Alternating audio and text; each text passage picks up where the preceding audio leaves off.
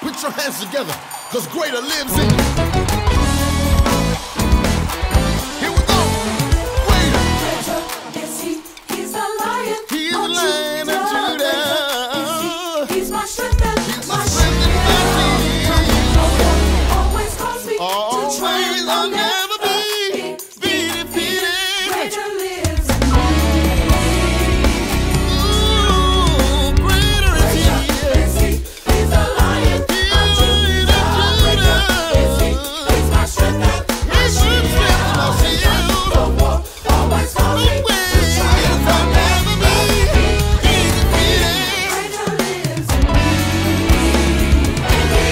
say again.